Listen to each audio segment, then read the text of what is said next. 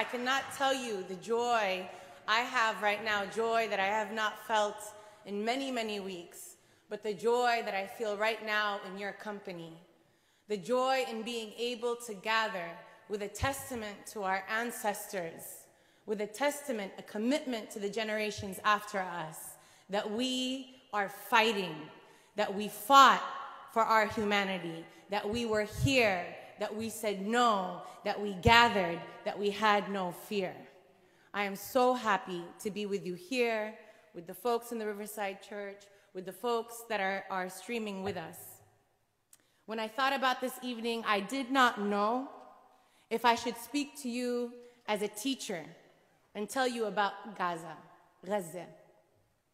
Should I tell you that Gaza was once a city district of historic Palestine that sits on the eastern coast of the Mediterranean Sea, that its harbor and fertile land has made it a focal point of trade and empire for centuries, including the Romans, the Mongols, and Napoleon's France. That prior to 1948, the Gaza district contained almost 90 towns and villages. It was 38 times larger than the current 140 square mile strip, making it the largest district in mandatory Palestine until, until Zionist militias destroyed a majority of these towns. Should I tell you that upon Israel's establishment, a severely truncated Gaza absorbed nearly 25% of Palestinian refugees exiled from their former homes, increasing its population from 80,000 to 280,000, that that number has grown to 2.2 million today, who are predominantly refugees and children, dependent on food aid for survival. Do I explain to you that Israel began to circumscribe this Palestinian territory in 1993 as it was entering into the Oslo Peace Accords. That it began a process of de-development, isolation, containment of Gaza with the intent to make it a Palestinian statelet and to instead focus on annexing the West Bank, whose land it coveted and whose natives it also sought to remove. In this context, I can tell you that Israel imposed a land siege and a naval blockade, hermetically sealing this coastal enclave, placing it on a subsistence diet just above starvation, relegating it to conditions of bare life, and then systematically pummeling it with advanced weapons technologies in a bid to take the land without the people to achieve in Gaza by warfare what it seeks to do in the West Bank through martial law, in East Jerusalem through administrative law, and throughout historic Palestine through civil law. Or should I speak to you as an attorney and tell you that when Israel withdrew its settlers and military infrastructure in 2005 that it maintained its effective control over the population registry, the skies, the underground water sources, the electromagnetic spheres, all points of ingress and egress, and thus remains in occupying power with the duty to protect its civilians? That Israel has no right to self-defense against territory that it occupies.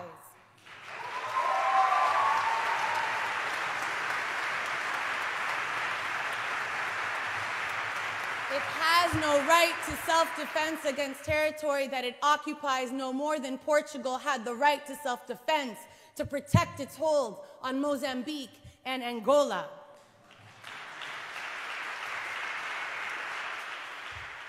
Should I explain that people fighting a, a, a, against colonial domination, alien occupation, and racist regimes, Palestinians have a right to use armed force so long as it's regulated by the laws of war.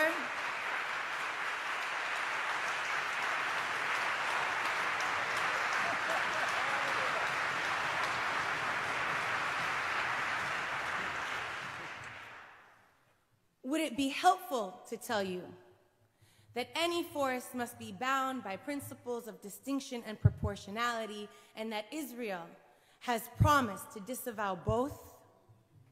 Its top military and political brass have made clear that their purpose is destruction, not accuracy.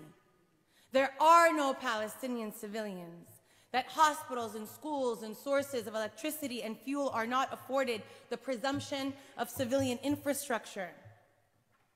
Do I remind you that they have expressed a specific intent to destroy in whole or in part a people based on their racial, ethnic, national, or religious grounds? Should I remind you that they need not kill a single person in order to be prosecuted for the crime of intent and incitement according to the Genocide Convention?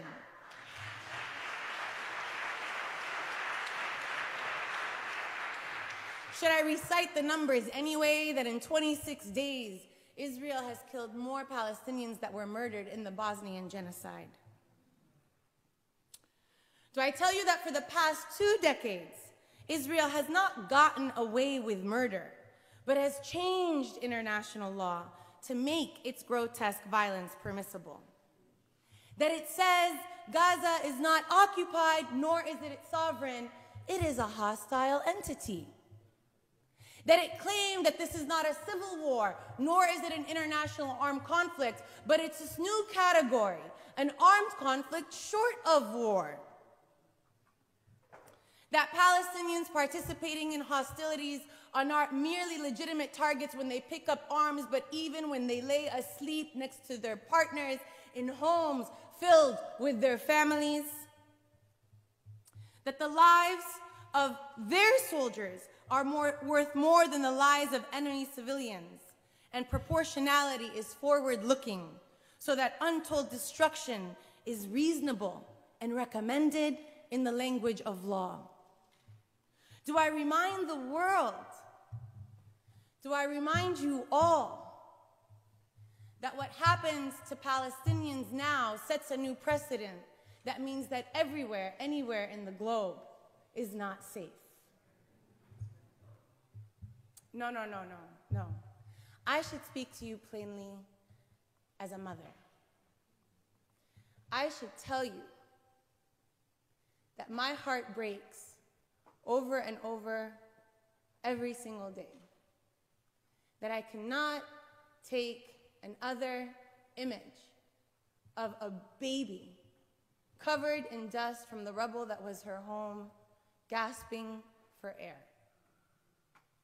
That I cannot handle another young girl running after her mother, her mother's corpse, asking her to get up. قومي يما قومي يما قومي يما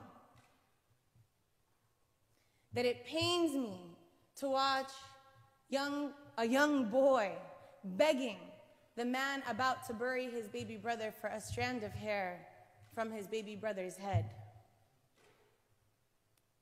That I have to admit that I am in sheer awe of Wa'il Dahduh who buried his wife and his son and his daughter, who both wanted to be journalists like him,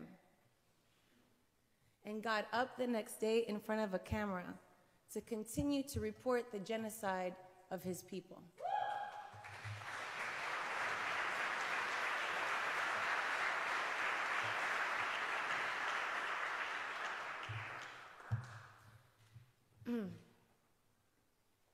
Shall I ascribe, describe my acute stress imagining 130 newborns in NICU at risk of death because of lack of fuel and electricity, only to look up and hear anchors ask me if the price is worth paying because some civilian life is sacred.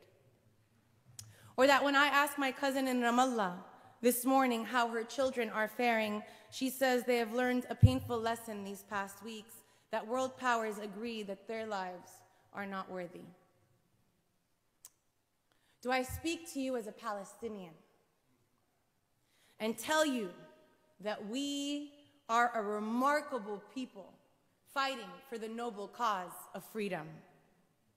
That we understand clearly that this is a genocidal campaign intended to complete the Nakba, to fulfill the Zionist fantasy of a land without a people, despite a valiant people that refuse to disappear, who vow to stay in their homes rather than become refugees again, who tell us, لن نرحل من هنا لن نرحل من هنا لن نرحل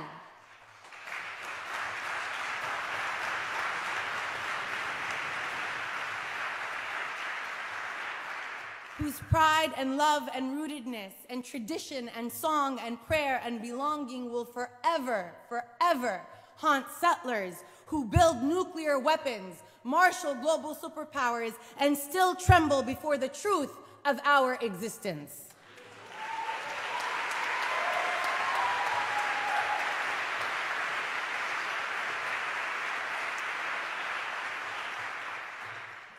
We existed before Zionist colonial invasion. We exist now even among the rubble of humanity's remains. We will exist when Zionism is dismantled bit by every racist colonial bit.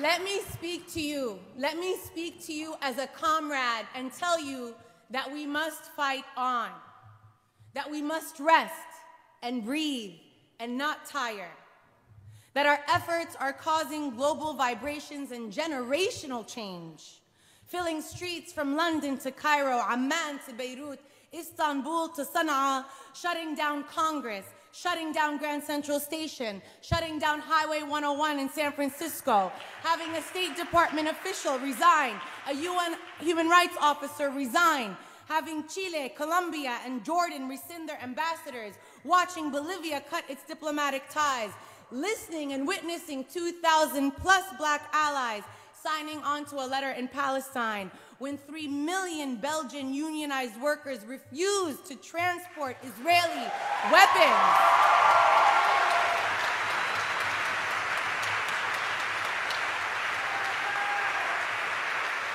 We have disrupted Senate appropriations hearings asking for more money. We have watched hundreds of artists call for a ceasefire and poll 66% of Americans that oppose this genocide and call for a ceasefire now.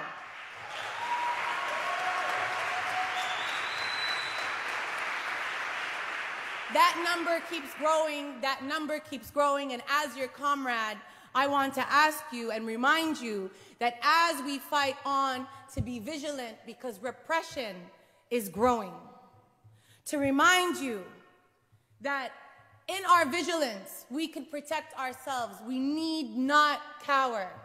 Palestine Legal, the only legal institution in the United States dedicated to protecting activists and allies in order to keep fighting, has documented 400 incidents of harassment, abuse, doxing in the past three weeks alone on average, annually they document 200 to 300 incidents. But in the past three weeks, 400 incidents alone. Law students who had their offers rescinded, medical residents who have been fired, editors in chiefs of art magazines who have been fired, uh, fashion magazine, or excuse me, uh, entertainment agency executives who have been set aside for opposing genocide. And while this racist, warmongering media and political establishment has led to the stabbing of a six-year-old Walid, uh, Walid Fayyoumi 26 times in his home in Illinois, Allah yarhamak, and the murder of a Muslim woman in Texas, Allah yarhamak, the Biden administration is mobilizing law enforcement to surveil social media of university students struggling for Palestinian liberation. The White House press secretary, in absolute disregard for intellectual honesty and journalistic integrity, and absolute offensiveness to us, anybody with common sense, has compared our calls for ceasefire and an end to genocide to tiki torch marches in Charlottesville. These are incredible, incredibly scary times, but incredibly inspiring times of what we are capable of together. We can only win if we stand up and fight back. Do not be silenced, but speak with vigilance. And here, if I can humbly ask for your support to donate to Palestine Legal. For those who have not had the heart, the will, the opportunity, the ability to speak up, donate to Palestine Legal. Help Palestine Legal, which only has six staff attorneys taking on this entire edifice. Help them protect the front line so that the rest of us can fight. We need a defensive front, and we have the institutions we need to support them. We also know that a generous foundation has agreed to ma match that donation that you make this evening. So I end by telling you what we already know, that we will continue until there is a free Palestine, until our, all our kin are freed from cages, until these lands are free, these stolen lands are free, until all our siblings can live in safety and dignity, until freedom, until freedom for all. May we be triumphant.